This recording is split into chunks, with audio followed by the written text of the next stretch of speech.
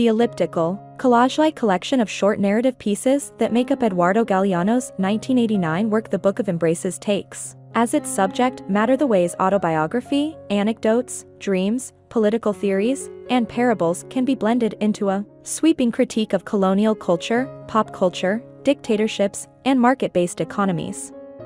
Translated by Cedric Belfrage, Galeano's writing tackles a panoply of genres and is unified by the narrator's mordantly funny voice, suffused with a dark humor that jokes in the face of crisis. The writing is accompanied by Galeano's hand-drawn illustrations. A native of Uruguay, Galeano was exiled from the country from 1973 to 1984 after a military coup took power and imprisoned him for his leftist beliefs. Most of the Book of Embraces is a reaction to being an exiled artist, and Galeano writes about the culture of terror that pervades Latin America. For Galeano, writing from within a system of oppression forces an author to give precedence to specific elements over others. For him, the most important thing is described by an expression he says originated with Argentinian fishermen, the semi-pensant, or the half-thought that necessarily manifests but is suppressed from being spoken aloud. The job of a writer is to break through this suppression, calling forth the reader's imagination and freeing the mind and soul. The book is composed of a series of short pieces of prose, many taking up less than a page, that are not narratively connected but do cohere in a thematic way. They are divided into sections ambiguously titled, such as The Origin of the World, Prophecies, Forgetting, and The Celebration of Contradictions. Most are Galeano's reflections on incidents from his own life, or from the lives of his friends and family, poets, writers, and artists who have lost their dignity under tyranny while still trying to create. The first set of pieces is essays that are analytical and dry in tone.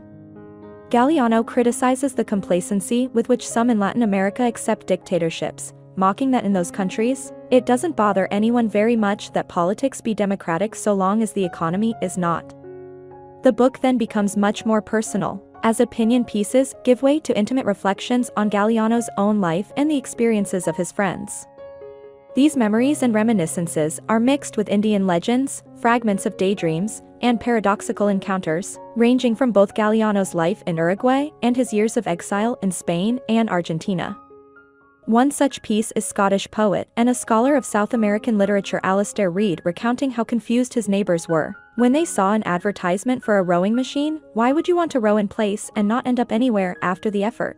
Another is the story Paraguayan footballer Nelson Valdez tells about a Havana bus trip where the driver pulled over in order to woo a girlfriend, and the passengers revolted against this unplanned stop by commandeering the bus.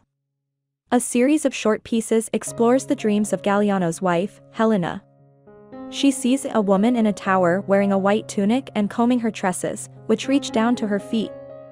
The comb shed dreams replete with all their characters, the dreams flew from her hair into the air. Galeano describes the graffiti he sees decorating walls during his travels. Memorable ones include a note scrawled on a fence in Melo, a small Uruguayan town, assist the police, torture yourself. He also writes movingly about very personal medical and psychological traumas like Helena's miscarriage and his own heart attack.